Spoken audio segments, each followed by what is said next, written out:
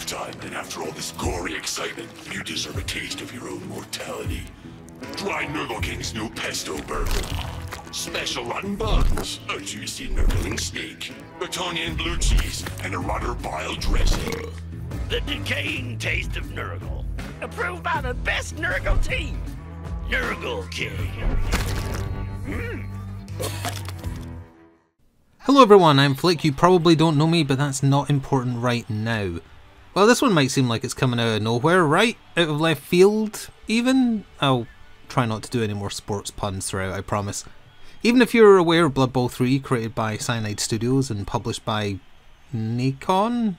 Nason? Whatever, I'll say Nikon from now on, and if that's wrong, who cares? You probably haven't thought much about the game since hearing about the appalling state it launched in on February 23rd of last year. Blood Bowl is based on the tabletop game of the same name created by Games Workshop, of which I am both a player and a fan. I put a fair amount of time into Blood Bowl 2, and despite having some issues with it, I was looking forward to the third outing in the series from Cyanide Studios. Who could have guessed it would go so wrong for them? Or the journey the game's gone on since then? Things will be a bit different for the critique this time around. Normally, I'd like to really get stuck into a story, meet it on its own level, and find what's wrong. I can't do that here though. After all, this game doesn't really have much of a story within it to speak of, but the story surrounding it and how, just over one year later, the developers are still pushing on with their project hoping to see a return on the time and money invested in it warrants a nice, close look, I feel. I've been collecting some player opinions, grievances, and the like, some developer interviews and reactions, and some general analytical data on how the game has been doing in 2024, which also saw the release of its fourth season of content and updates in late March. The video is going to follow the timeline of the game from pre-launch until now, after a brief rundown of the basics for the uninitiated as to what Blood Bowl even is. Keep in mind that everything is split into chapters, so if you're a seasoned Blood Bowl player and don't need a refresher on the game itself or Cyanide Studios' handling of the license, you can use the timestamps below the video in the description to skip ahead. For everyone else though, grab a warm beverage of your choice and then let's get stuck in.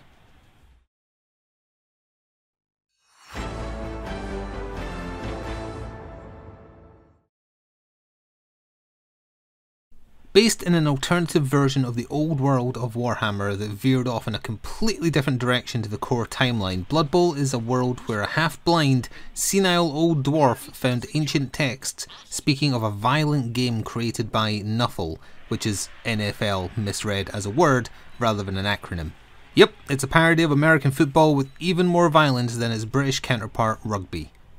This version of the old world becomes obsessed with the sport until it becomes the metaphorical backbone of the entire society. There isn't war anymore, everything is settled by and revolves around Blood Bowl. If you want an apt analogy, it's kind of similar how the world of Metalocalypse is completely obsessed with Dethklok and their death metal music. The original tabletop version of Blood Bowl was released in 1986 by Games Workshop with it getting a re-release update in 2016. In 2020, the tabletop was updated to its second season edition. While there has of course been erratas, FAQs, revisions and new teams over the years, the core rules themselves have remained remarkably unchanged, which is usually a good sign that you're onto a potentially timeless game system.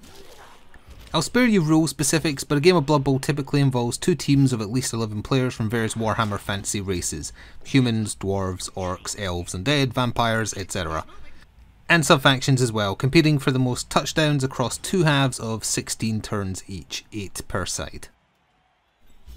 Cyanide Studios, a French developer, picked up the license to make Blood Bowl video games via their then publisher Focus Home Interactive, who handles a lot of game releases using Games Workshop licenses, and released the first Blood Bowl game in 2008, with a Legendary Edition following one year later in 2009, and a Chaos Edition after that in 2011. Blood Bowl 2 was released four years later in 2015, still published via Focus Home Interactive. Things changed when it came to Blood Bowl 3, however. Cyanide Studios still handled development, of course, but they had been acquired by Nacon in 2018. Whether or not this change in publisher negatively influenced the development cycle for Blood Bowl 3 and resulted in the state it launched in feeling so incomplete can only be speculated about. I'll justify my thoughts on this more later, but for now I'll say that I do believe Nacon's influence may have negatively affected the game and the state it eventually released in. What can be stated is that Nacon's catalogue of published games varies wildly in quality, with most leaning on the, let's say, mid or lesser side, in my opinion.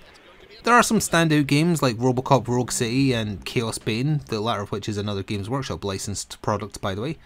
But that's mixed into a pile of a lot of trash and middling games like Gangs of Sherwood and other mediocre at best games obtained via their company's acquisitions.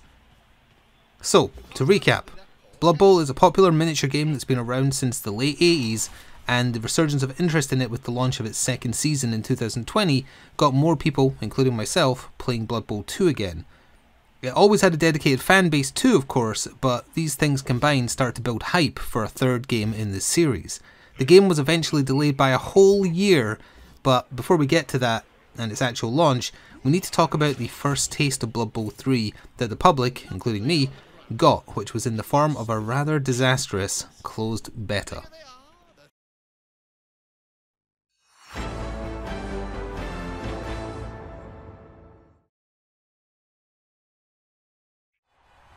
Hi everyone, we at Nacon and Cyanide Studio announced Blood Bowl 3 last year, and it is now time to give you a chance to get your hands on the game for the very first time, including a first look and reveal of the Elven Union team and gameplay.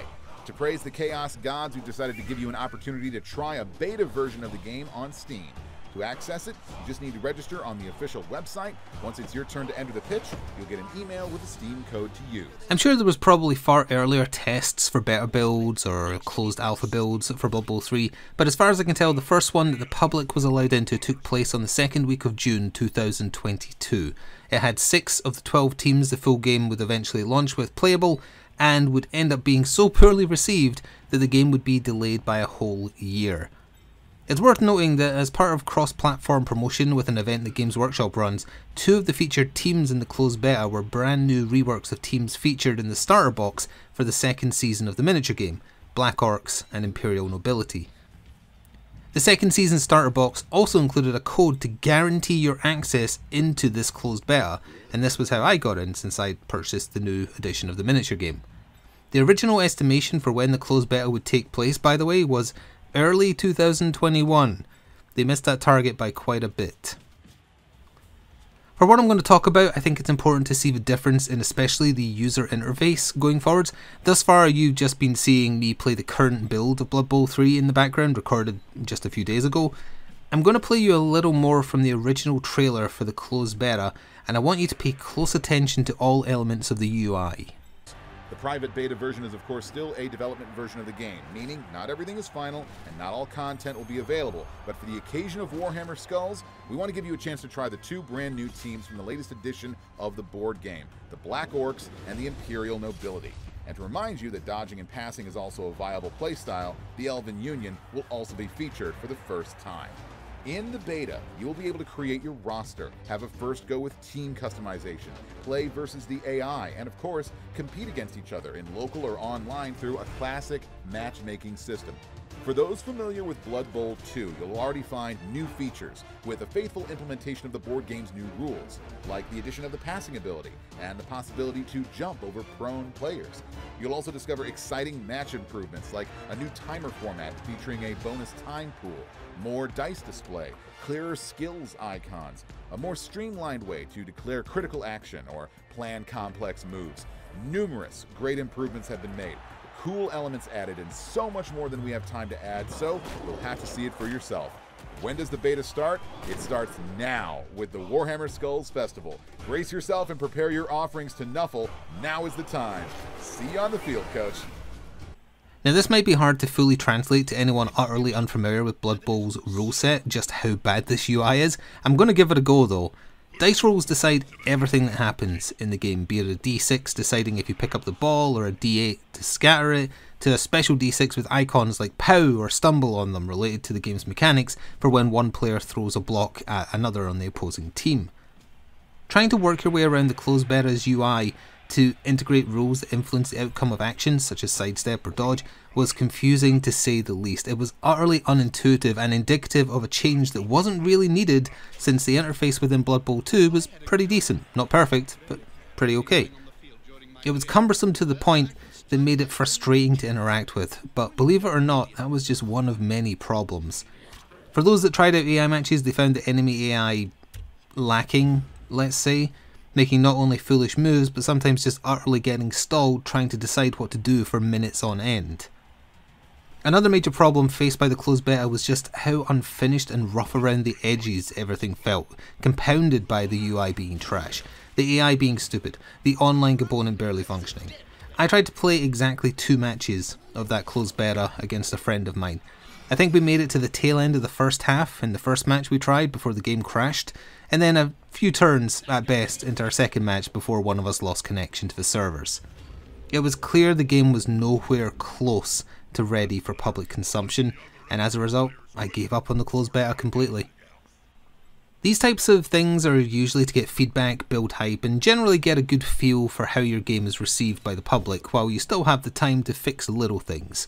Promises were made in the blowback of the closed beta that the UI would be looked at, stability would be improved, and things would just generally be made better.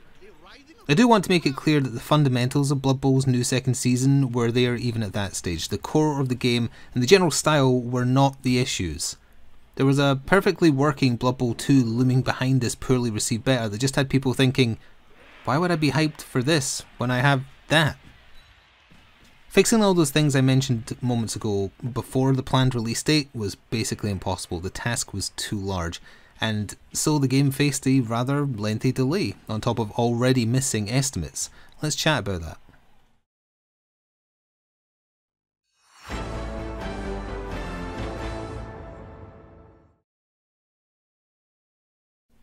This will probably be a relatively small section, but as we chart the course that the game has followed, I do think it's important to note that by the time the already late closed beta arrived, the project itself was massively behind schedule. I suspect Nacon tugged tightly on the purse strings around this time and basically said, I don't care, get this out the door ASAP. Facing a massive backlash from fans regarding the stability, quality, and UI issues the closed beta faced that I just talked about, Cyanide Studios opted to miss the game's original release date of February 2022 by a whole year. You might be thinking, things need as long as they need, right? And I do agree. If that's how long is needed to make it good, then so be it.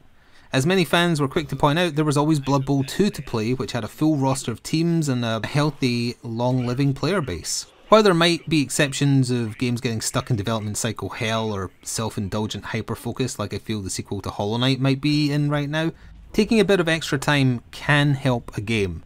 They'd been given enough player feedback, even if mostly negative, to work from, but time and, presumably more importantly, money always seem to be against them. Sometimes all you need is a bit of time, but sometimes time isn't even enough to save a game. Suicide Squad Kill the Justice League faced multiple delays and was still awful, Whereas Gotham Knights took a little bit of time to try and strip as much of the games as a service model out and made it, well, passable. The point I'm trying to make is that if you need time to make something good, then that is fine. Take the time. At least try to do it right in the best way you can. Despite pressure I'm sure was coming down at them from the publisher, Cyanide Studios took an entire year of extra development time, so surely when the launch did eventually happen on February 23rd, 2023, it was great. Right? Right?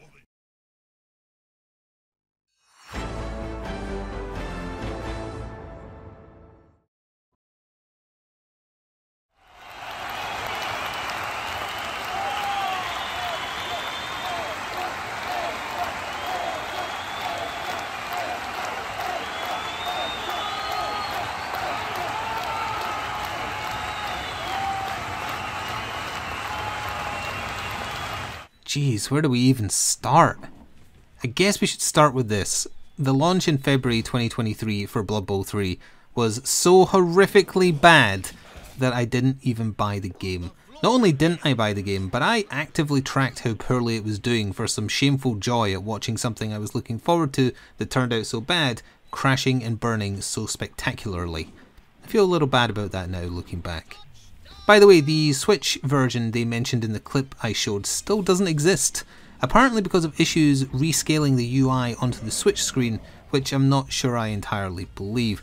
Retailers are still taking pre-orders on the Switch version of Blood Bowl 3 though, and a to be confirmed release date is slated for sometime in 2024. So what kind of problems existed at launch for Blood Bowl 3? Well, this is going to take a while. The servers barely functioning in a game pushing its online competitive nature would probably be up there as number one. I think it had some offline capabilities, but very bare bones. If you could log in, you might get a game, but matches can take at least an hour and disconnects were very frequent. There was no ability to reconnect to a match, which would then issue a concede to you, which also meant you got a penalty, which, if you collected enough of, would ban you from online play for up to 7 days. Features previously available for free in Blood Bowl 2, like team customization now being locked behind a paywall of microtransactions and premium currency, also turned people off, as did the news of each season having a battle pass. The 12 team representation being so limited compared to Blood Bowl 2 was another point raised by many, though I don't fully side with them on that as we'll talk about later. Bob and Jim, the well known ogre and vampire commentators from Blood Bowl, returned, but most of their lines were reused from Blood Bowl 2, and what new interactions there were seemed immensely limited as they repeated very frequently. They must have had the actors in the recording booth for an hour at best. The intro to the game also reuses the intro to the main menu from Blood Bowl 2 but blurred it out and put it in the background. Then we have some much more game versus tabletop specific complaints like failure to apply certain rules correctly, not adapting to recent errata or FAQ clarifications regarding the rules, and finally some little features missing like player mutations not being visibly represented on their in-game model, and in-game character models in general not looking like they looked in Blood Bowl 2. If you've played or seen enough video games in your life, you can just sort of tell when something is just a little off and unfinished. You get a second sense for this kind of thing. Even if the Blood Bowl 3 servers hadn't crapped the bed or the disconnect bug with no way to rejoin hadn't been a thing, there was still a general unfinished feel to what was presented to everyone. It was a three course meal with bite marks in the first two and an empty plate for the third. Something wasn't quite right. How could a game so delayed still have so many issues? They really wanted to push the online competitive game against other humans, apparently, yet the online functionality barely, well, functioned. This is where we have to start separating problems the game had at launch with the plan the developers had for it.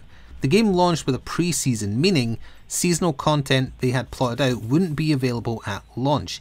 This piled on people's beliefs that the game was unfinished, but in this instance, I don't believe that to be true. In watching lots of interviews with the developers, their ideas for seasonal content seemed pretty planned out in advance.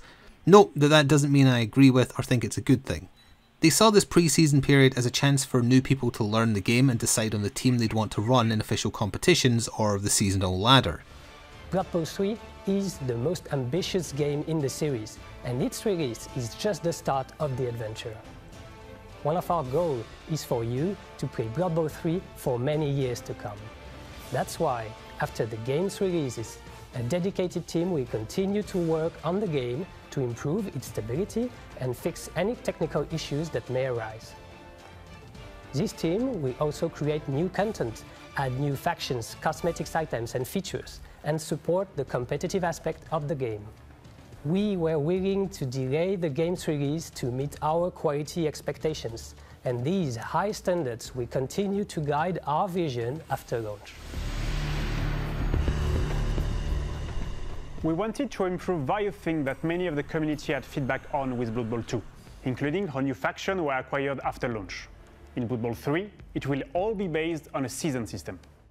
There will be a new season every three months, coming with a major update that will add a wide variety of content and features, as well as introducing a new faction, which will be added to the 12 already present at launch, and a new Blood Pass.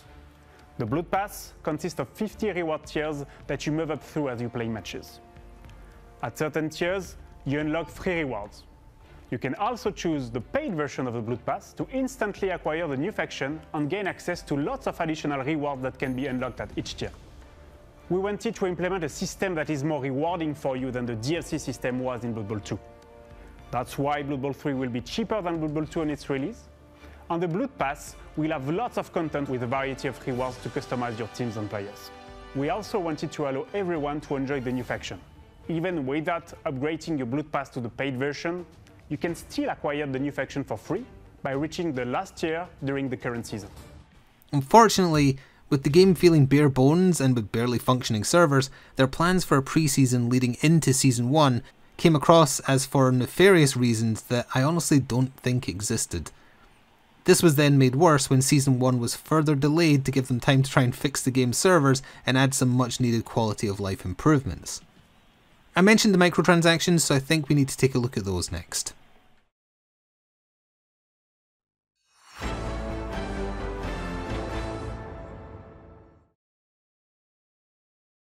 Before we go on, I did mention that I never bought Blood Bowl 3 at launch, so for perspective, I should make it clear right now that I picked up the game not that far into the launch of its Season 4. That means I missed all the launch issues, but more importantly for what we're talking about right now, I missed the first three seasons of Premium Battle Passes with associated new teams in each.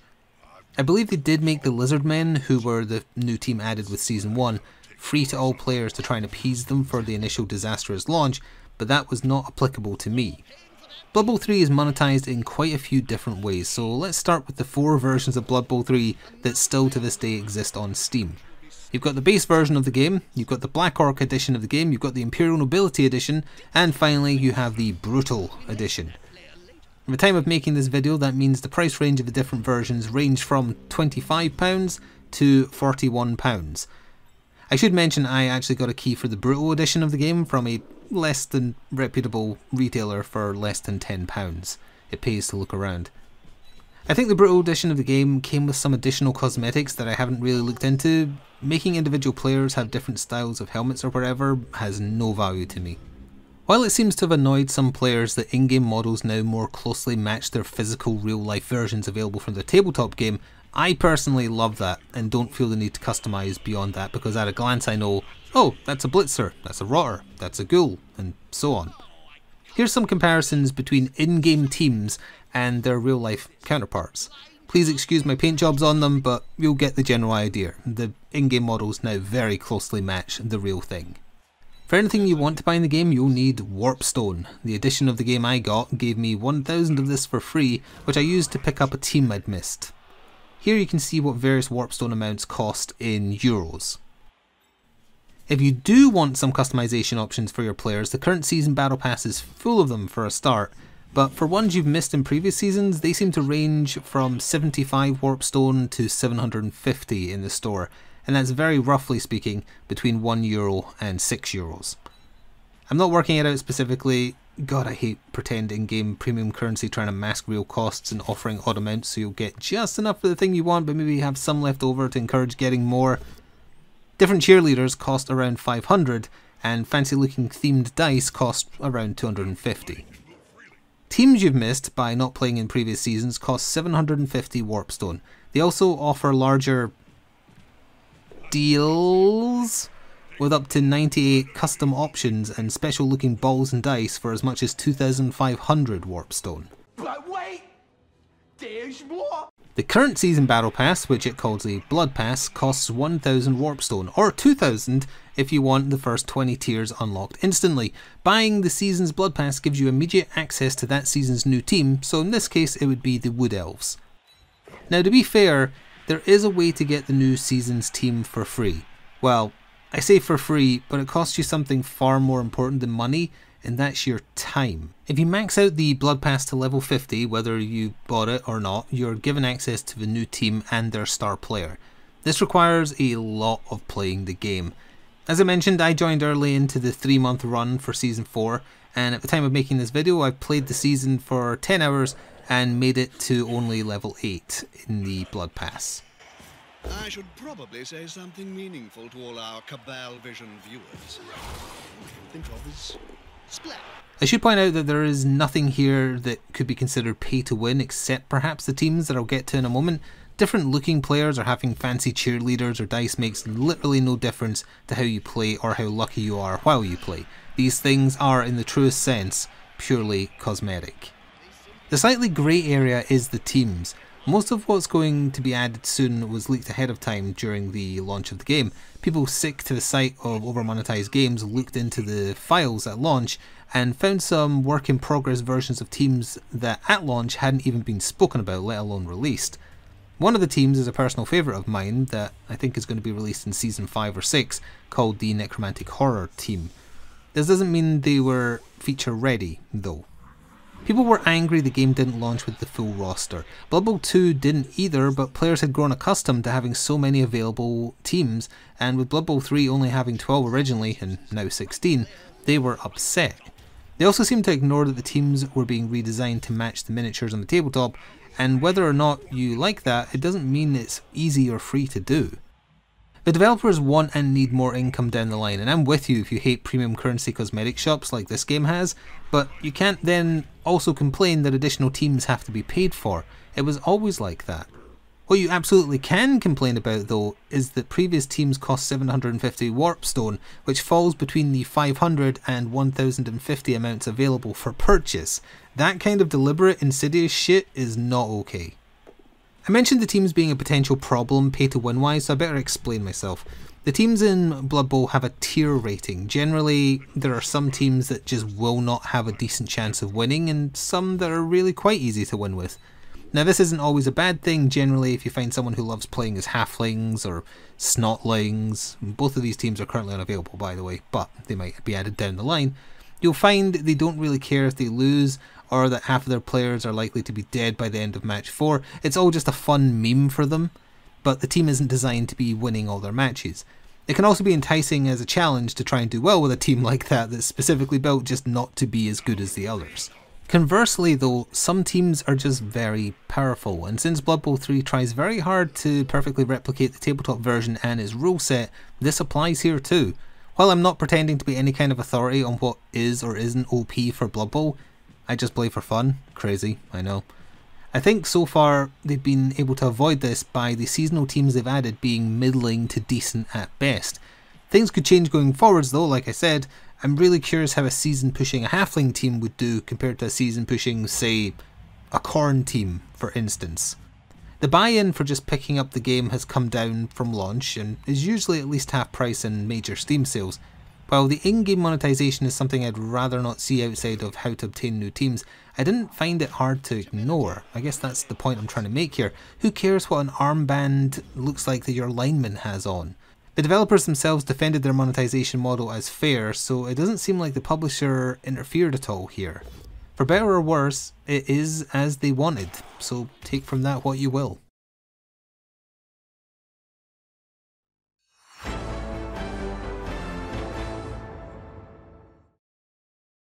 Oh, this is bloody weird, right? I know, how the hell is there a chapter on story in a game like Blood Bowl 3? Well, would it surprise you to know that this game not only had one but two campaign writers? One of the two, who was also the lead cinematic artist, did an interview about it. Now, if you've played the game, your reaction is probably, Really? Since you've seen the campaign. Here's how it is described by one of the two people responsible for making it. Hello, my name is Johan Druder. I'm lead cinematic artist at Cyanide and also co-wrote the Blood Bowl 3 campaign. Blood Bowl is a turn-based tactical game inspired by American football, set in the Warhammer fantasy world. The game is spectacular, brutal and full of humour and parody. The important thing about Blood Bowl 3 is that we've adapted the new board game edition. We implemented its new rules, so the gameplay is impacted. Yeah, he, he takes a little bit to actually talk about the plot and mostly instead talks about the rules they're incorporating from the second season tabletop game version. Give him a second. From a graphic standpoint, it also means that all our models are true to those in that edition. Quite a few of the new game mechanics are coming straight from the board game. I'm sure you'll like them. He does talk about the story soon, I promise. Most pitches have rules which can change the outcome of a game. Besides, some pitches can transform themselves during a match if specific requirements are met. For instance, on the Dark Elf pitch, if you score a touchdown in the first half, a Kraken appears and the match obviously becomes way tougher. There is also the Elven Union pitch. Whenever there's a climate change, a magical wind can be cast on the field, freezing it in the process and making it slippery for your players when they move. Then there are the special play cards. They are cards you can play during a match and they give you access to certain abilities. For example, a loud blitz. allows you to blitz twice during a turn. Blood Bowl players know how useful that can be. I know these special play cards from the physical version. Are these cards in Blood Bowl 3? I don't think they're in Blood Bowl 3. There is also white stuff, which can give the block skill to a player who has 3 strength or less. Then there are also prayers to Nuffle. These are effects that take place right after the inducement phase and they help bringing back balance on the battlefield. For example, Under Scrutiny prevents the referee from seeing one side of the pitch, quite convenient if you want to cheat. There is also Treacherous Trapdoor, which spawns bear traps on the field. As you could see in the trailer, the campaign is built around a theme of sponsors. There are several competitions, each of which is thematically linked to a sponsor. During the campaign, you will have to face a bunch of star players, who are the public faces of these sponsors. They are both very strong and charismatic. Rejoice, Blood Bowl aficionados, Varag Ghoul-Chewer is back. He's an Orc star player and a brutal and vicious one at that. In the campaign, he created a gym chain with the Orcidas brand, whose methods are rather unconventional. One of the star players I like the most is Kirioth Krakeneye. He's a dark elf corsair who started a cruising company called Corsair Cruises, and it allows him to hide the fact he's actually a slave of pirates. We decided to base the campaign on fake sponsors and star players for gameplay related reasons. We wanted players to create their own teams from any race. I'm not sure what he meant by this statement. There are teams that combine units from other teams, such as Underworld Denizens, but you can't just throw, say, some Nurgle dudes with lizardmen or anything like that. You've never been able to do anything like that. Each competition is linked to their sponsor through a strong theme, and that is how we pick the teams you are going to face. For instance, during the Corsair Cruises competition, you'll be facing all those aboard Kirioth Krakeneye's ships, beginning with the rats in the ship's holds, and then with the unfortunate souls Kirioth enslaved, and finally Kirioth Krakeneye's very own team, the Blackheart Corsairs. This narrative choice gives us lots of room for humour and parody, both being quintessential aspects of the Blood Bowl license. Each sponsor has their own parody ad spot. Our idea was to parody and play around with the ads that air during the Super Bowl in the United States. I also drew a lot of inspiration from Blood Bowl's very own community, which has always been creating hilarious parodies. Of course, Jim and Bob are back to commentate matches, and during the campaign, they'll be paired up with a few guests who'll pitch in for the occasion. Jim and Bob are never joined in the commentator booth at any point, but that's not that important. It was a great pleasure to show you our work. I can't wait for you guys to check out Blood Bowl 3. To be fair, the parody Super Bowl ads that play before you take on each sponsor competition are genuinely great. They're very well made, they're funny, so funny I felt one was good enough to open the video with. Here's another. Looks like that dwarf is stuck in the middle of the greenskins. His teammates are either unconscious or most likely dead. What he needs, Bob, is a miracle. Wait, you hear that? That's the sound of Bugman XXXXXX. Probably the best beer in the old world. Ha! Come and get it, lad!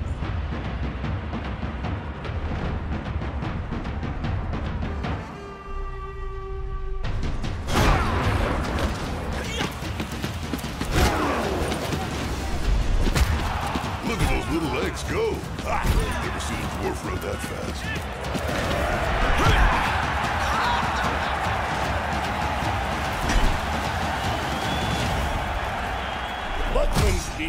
Beer, of the Mountain Kings. As good as these are, that's really all there is to any story the game has. After the short intro cutscene and tutorials, you get to tackle six mini leagues with a team of your choice. The goal in each is to defeat each of the major sponsors via their star player that endorses them, and then that's really it. In terms of the writing, you could bang it out in an afternoon. These parody ads and some unique lines of dialogue from Bob and Jim do not a story make. I guess they've had to account for you using any team, but you take the role of the coach, so that's very easy to play into. The focus for Cyanide Studios was for sure the competitive portion of the game, player versus player. For many, including myself, this was quite disappointing. Not that Blood Bowl 2's Reikland Reavers campaign was especially memorable, but this was a chance to do something with a bit more depth, and they just didn't.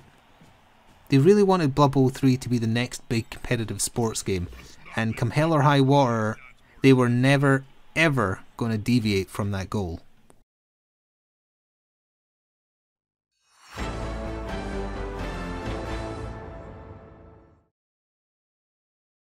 With Blood Bowl 3's disastrous launch, delayed first season, and general lack of polish, it was no surprise that the game did very, very poorly. A quick look at some information about recent player numbers is more than enough of an indication that the game is not in a healthy place. To their credit, however, Cyanide Studios have not abandoned their game one year on and are still pushing forwards with their plans. Here we can see the original year one plans for Blood Bowl 3. Now, if you're thinking to yourself, shouldn't half of this been in here since launch? Yeah, yep, yep, yeah, I, I totally agree. But take it for what it is. They had this plan, they stuck to it. Now here's their plan for 2024, and while there are slight delays, and I personally think it's ridiculous that Eternal Leagues won't be in until the end of the year, it is all still clearly stating their goals for the months ahead. Despite being largely forgotten and not having a huge player base, it is still facing blowback from fans to this day.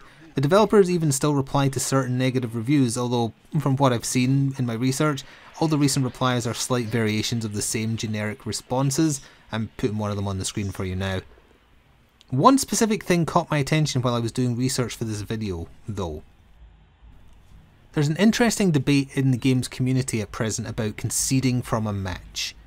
You can't do it currently, so even if you've lost for sure and your players are literally being beaten to death, the only way to say, I quit, is to Alt F4. This grants you the concede, the opponent gets a victory, and it starts building up that penalty for you that I mentioned earlier on that might see you banned from competitive games for up to 7 days. Remember that this game's focus is the competitive ladders for each season. So you might be wondering, why is it this way? Well, the reason it's this way is because, and we're getting into some rules minutiae here again a bit, but I'll be as brief as I can, I promise. Players gain star player points, or SPP, for doing certain things in a match, like killing an opposing player, completing a pass, scoring a touchdown, and so on. You can think of it like XP for individual players. If you concede early, you're denying your opponent the chance to earn more SPP to improve their players before their next match. But, as people have rightly pointed out, it isn't any fun to play a full match you know you've lost, especially if your opponent is just hiding the ball in their backline so they can batter your players into bloody smears on the grass. The tabletop version's rules for players knowingly running out the clock in this way are iffy to be as polite as possible in their application and usefulness, so this comes down to a playability versus practicality argument. A friend of mine felt the compromise to keep both sides happy would be to grant the ability to concede, but let the AI take over for your team so the opponent can play out the game if they wish. Not ideal, but it's certainly something that would go some way to appeasing both sides of the argument.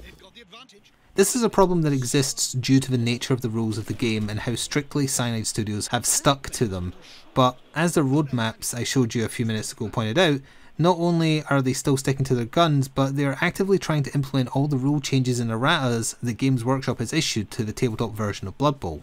They have a vision for their game and truly want it to be a digitized version of the real thing. That's fairly unique for a Games Workshop licensed product, by the way most aren't allowed to accurately replicate the physical game it's taken from this closely because of a fear that they'll lose out on miniature sales. I don't think there's any denying that this perfect replica is Cyanide's end goal, and I think that's what surprised me the most as I researched the developers, the game, and of course finally played it for myself.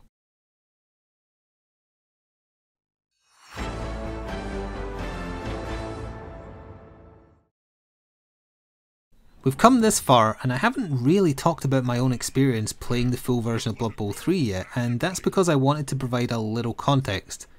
Well, okay, a lot of context before I got to that, because the conclusion I reached with my time with Blood Bowl 3, albeit somewhat limited so far, is not the one I thought I would have had when I decided to buy it in order to make this video. Now, here at the end, the penultimate chapter, I'm ready to start talking about it. I like Blood Bowl 3 quite a bit. Oh, so forming an angry mob, eh? Who we going after? Ah, put down the pitchforks. I'm not saying it launched in an acceptable state, okay? It did not. It absolutely did not. Put them away. That's why I didn't buy it. That's why most people didn't buy it. And those that did reviewed it negatively and then refunded it as they should have. It launched in a pathetic, appalling state. The writing was very much on the wall for the sorry state it was in. But here we are, four seasons deep and just over a year later since it was shat out into the public eye, and things are honestly a lot better. For a start, the game works. I didn't run into any issues in that regard, but that's just the start. With the in-game character models now matching the contemporary miniatures and the graphical engine getting a much needed improvement, it feels very like the real thing, just without the tedious parts sometimes connected to playing the real thing. The real life version of Blood Bowl can take a while with checking of rules, and the setup and the teardown, all that stuff. It can be so long to play, the Games Workshop even created a smaller, shorter version of it called Sevens, that personally I think is the better way to play Blood Bowl for the record. It's nice to have an updated Blood Bowl to play that follows the more up-to-date rule set from the second season edition of the real thing. This does come at a cost in terms of reduced available teams at present, but I don't really have a big problem with them re-releasing them over time. The problem they had to solve was making the game work right. Simple as that and it's at a point now where I feel I can say that it does work. Now there are some things that still bother me, so don't think I've gone soft. The UI is still not perfect. The AI will carry on playing while you're trying to read kickoff results and see how a dice roll went elsewhere, for example. You have to hear the same four or five reactions from Bob and Jim over and over, like the story about the Nurgling and the Greater Unclean One. And yeah, the AI in general is still pretty terrible with the decision making it puts on display. Also, trying to play a league, even just against AI teams, is a bit of a mess, with the UI and change of terms that do not reflect how the tabletop game handles leagues. In Blood Bowl 3, you make a league, but then within a league you can have multiple competitions, and it is these competitions where you register individual teams that serve the function that leagues served in Blood Bowl 2. Very confusing. I actually had to Google how to make an AI filled league to try out a team outside of a single friendly match where there would be no SPP gain and no progression. I wish I could have made a more pointed argument for why the game is decent now beyond, well, it's Blood Bowl and it works now. But is any more than that really needed? If you've fully written off Cyanide Studios for the state the game launched in and the fact it is in a better place now won't change that, then fair enough. Or you could be like this person in the Steam Community Hub who say they've been gaming for 58 years. It's certainly an opinion. Yep. Quite, uh, quite the word salad. You know, at one point he even mentions there being a dice algorithm or sequence of patterns, and I'm kind of with him on that. I believe it isn't true random always, but I always felt that about Blood Bowl 2 as well, so it either isn't a new thing or it's just the human condition to spot patterns in things where they don't necessarily exist, especially when they seem to lean towards screwing you over. Some people will never be happy with the game. Sometimes that's me, I've been there. In this case though, I waited long enough to try Blood Bowl 3 since its embarrassing launch that it is in a state I can be happy with for the price I paid for it. I don't feel the need to grind to unlock the Wood Elves and I might even buy access to the Necromantic Horror team when they get added, since their new aesthetic in the tabletop game is absolutely fantastic. Now, if you don't care about the new rules or graphics and want every team available for the game, barring any that have been made or updated for the second season of the tabletop game, then for two or three pounds more, you can get the legendary edition of Blood Bowl 2 that has everything. If you still have grievances with Blood Bowl 3 but want a decent enough digitized version of the tabletop game, Blood Bowl 2 will still get the job done. I'm not arguing that it won't. All I'm saying is that if you wrote Blood Bowl 3 off at launch and have never looked back at it again since then, it might be worth at least just a little glance. And that is a recommendation I never knew I was going to make before I started playing it.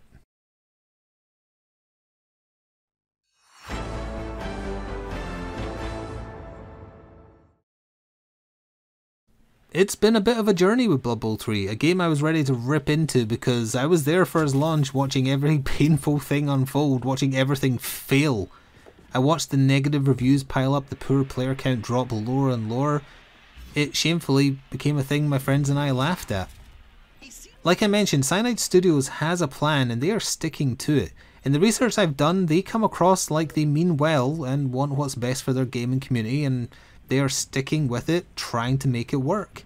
While I don't fully agree with their approach, especially to monetization or priorities, it was refreshing to see the dedication they have to their game, especially when compared to recent examples like Rocksteady. Being cynical on the internet is exceptionally easy to do. I do it, you do it, we all do it. We're naturally skeptical and cynical about most things we see on the internet. It's healthy to be that way a lot of the time. That's what makes it hard to spot genuine effort or a desire to change.